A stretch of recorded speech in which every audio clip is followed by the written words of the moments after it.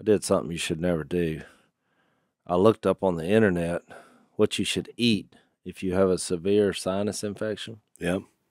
And so after I gathered the intel, which I basically came up with three things from the internet seafood, citrus fruits, and hot peppers.